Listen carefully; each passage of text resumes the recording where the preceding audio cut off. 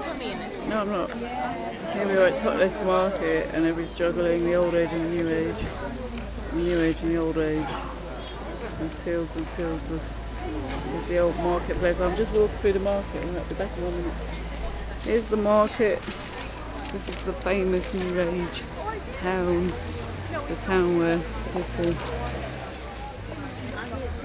share organic vegetables, take things from Thailand, make carvings and jewellery. This is supposed to be the wonderful town, but it's a town where a lot of people are torn between Methodist, Church of England and Catholic.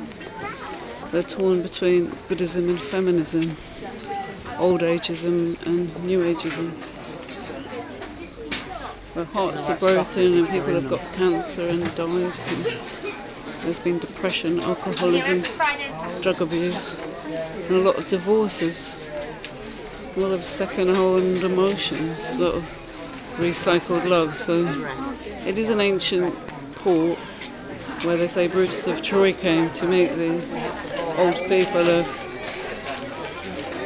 Avalon, the old England. But within that structure you've got a huge amount of cultural mishmash and it isn't all wonderful. A lot of old memories and feelings. It's not always such a new agey, groovy.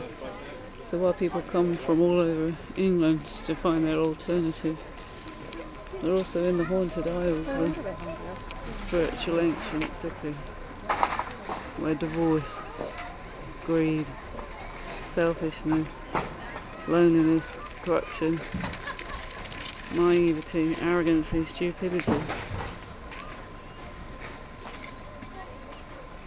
merges and people forget how grateful they should be, how spiritual they should be, how caring they should be, how much more loving they should be, and grateful they should be to live in such a beautiful ancient old place. And there you see these people working together, farming together, fishing together. Uh, this is the ancient town of Mama where she grew up and the hypocrisy of it, the double-edged sword, the extremism.